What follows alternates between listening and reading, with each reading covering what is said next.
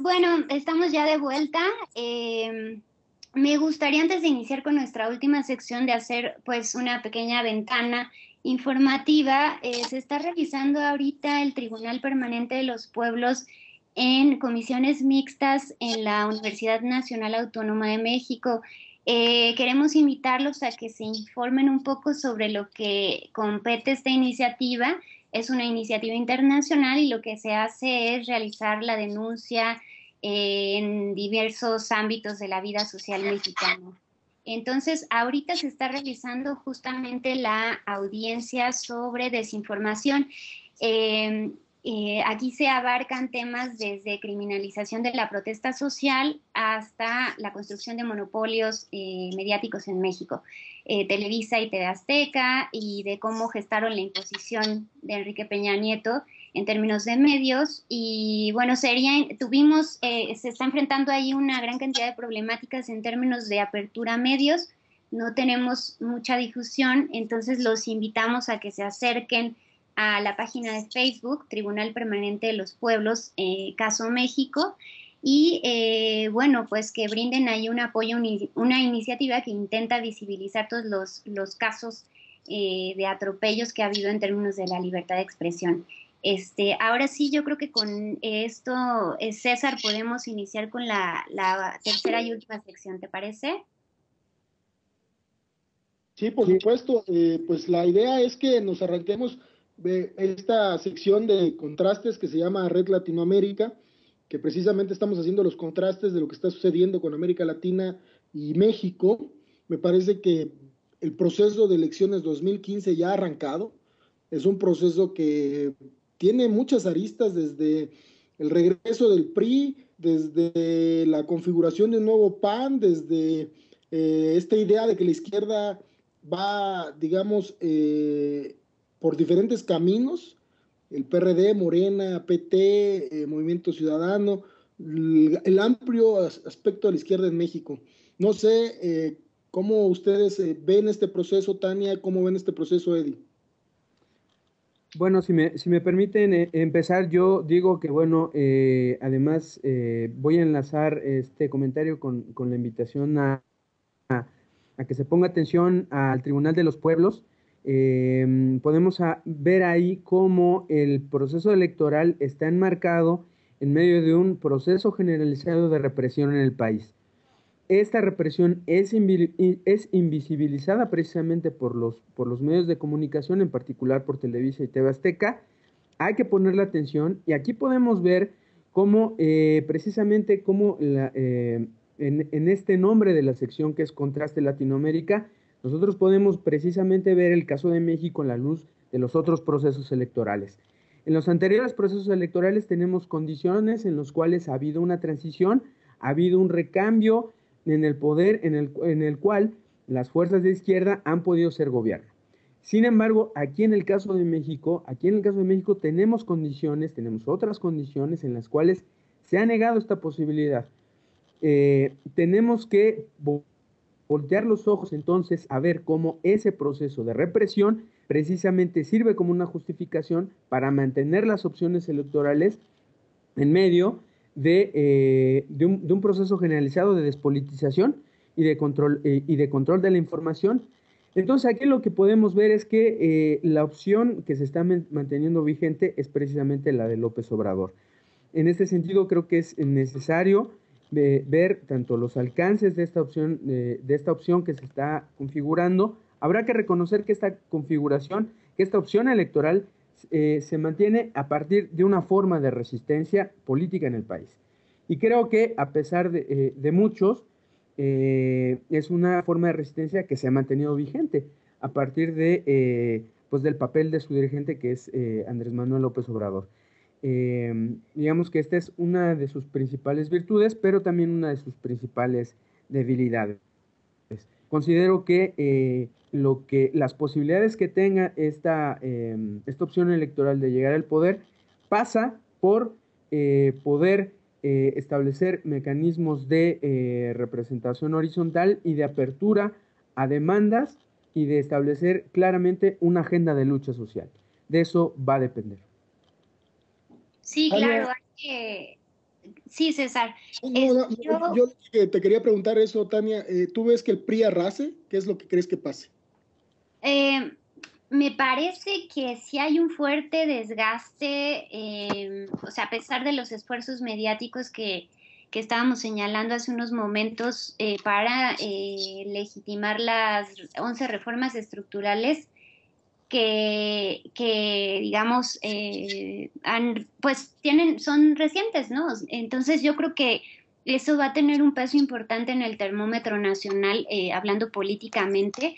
Entonces, eh, me parece que hay estados evidentemente que tendrán también elecciones que estarán un poco, digamos, ya determinado el final de la, se reafirma la posición del PRI, pero hay otros estados que sí van a estar eh, siendo eh, cuestionados en términos del dominio priista. Por ahí podemos mencionar Michoacán, con el caso de Fausto Vallejo, eh, en donde, bueno, no se vislumbra un panorama prometedor para, para Querétaro tampoco lo tiene ganado. ahí figura más la fuerza del PAN. en el caso de Nuevo León, pues tendríamos eh, de nueva cuenta un desgaste desde el PRI muy importante, en donde el PAN podría recuperar eh, nuevamente el Estado. Está también Campeche, eh, ahí lo retomaría el PRD, dado los escándalos de corrupción que se han dado ahí en el Estado. También San Luis Potosí se vislumbra difícil para el PRI, parece ser que Acción Nacional está tomando fuerza. Entonces, bueno, creo que depende del, contexto de, cada uno de los estados. Sin embargo, en el panorama nacional me parece que, eh, aunque evidentemente no va a tener la misma fuerza en términos de manipulación o de, digamos, maquinaria vista operando eh, por la cooptación del voto, eh, creo que sí, sí va a haber una, un cobro de factura, pero no, no tan representativo ¿no? Como, como quisiéramos, debido al control de, las instituciones que mantiene la infraestructura priista. Eh, por el otro lado, pues el contexto de, de Distrito Federal es, es, es distinto. Ahí sí hay que hacer una apreciación yo creo que más particularizada, porque justamente pues Morena eh, está, yo a mí mi percepción es que eh, Morena hace bien en no querer eh, construir alianzas. Eso se ha reclamado como uno de los principales problemas porque pues está dividiendo la izquierda, ese es el argumento. Yo creo que más bien ahí lo que sucede es que el PRD justamente hace el reclamo, ¿no? Y le, reclama a Morena que por qué hace el registro para dividir a la izquierda. Bueno, pues evidentemente el PRD tiene que reconocer que no ha, eh, no está, en estas alianzas perversas el Pacto por México es muy representativo, en estas alianzas perversas en las que aprueban las, las reformas junto con la maquinaria pelista y el PAN, bueno, preocupante. Entonces, me parece que Morena toma una decisión muy sabia en ese sentido y va por la libre y me parece que tiene el respaldo de la ciudadanía, al menos en el Distrito Federal. No sé cómo lo vean ustedes, ¿no? Eh, ¿tú cómo ves? ¿Crees que Morena pueda llegar a consolidarse en el Distrito Federal? ¿Puedes eh, vislumbrar a Morena después de, de las elecciones 2015 más fortalecidas ¿Hay algún, tienes, tú ves alguna luz como para poder llegar a 2018 y decir que se puede presentar un candidato presidencial para revertir todo lo que se ha avanzado con la entrega de la nación? Bueno, yo eh, considero que ahí la disputa por el Distrito Federal, eh, como lo hemos podido ver en, otras elecciones, si bien no determina el panorama de toda una elección, pero sí eh, marca un principio de arranque en las campañas. Eh, aquí lo que sí puede, lo que yo sí puedo observar es que efectivamente Morena sí va, a ser un, va a disputar seriamente el Distrito Federal. Ahí efectivamente creo, efectivamente yo creo que la, la, táctica de diferenciarse claramente del PRD va a atraer el voto ciudadano y entonces en el Distrito Federal sí puede tener una opción de avance. Ahora, lo que es cierto es que lo que, lo que puede suceder es que eh, con la división del voto, eh, la disminución del PRD y aumento de Morena, entre el voto que queda flotante, se refuerce y ya sea más probablemente la, opción priista. Eh, sobre todo debido al, voto corporativo.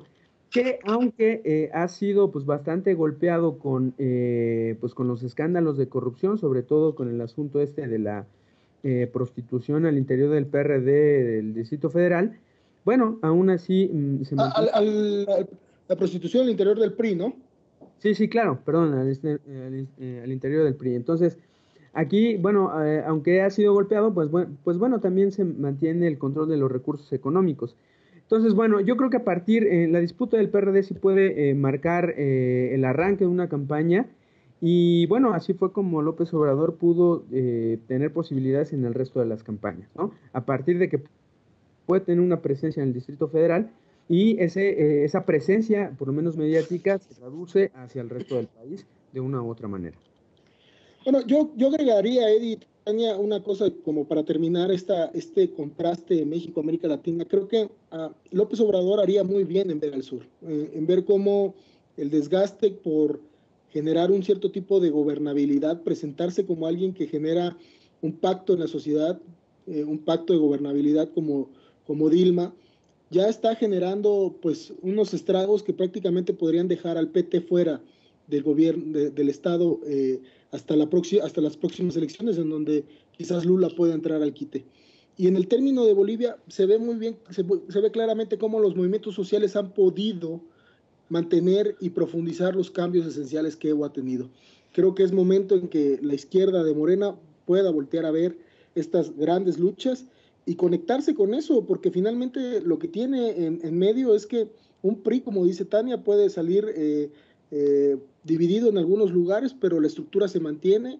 Es como lo que dice también Eddie, creo que me parece que en el DF algunas posiciones se perderán ahí con el PRI y creo que es momento de, generar una profundización en, el, en, los, digamos, en los, eh, en las estrategias para unificar a la izquierda. Eh, y bueno, pues eso ha sido todo en esta sección, amigos, y, y con esto pues prácticamente nos despedimos del primer programa que lanzamos al aire de Alameda 67.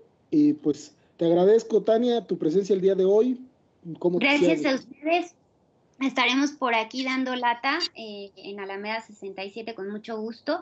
Esperamos que les haya eh, gustado pues el, el formato y el perfil editorial.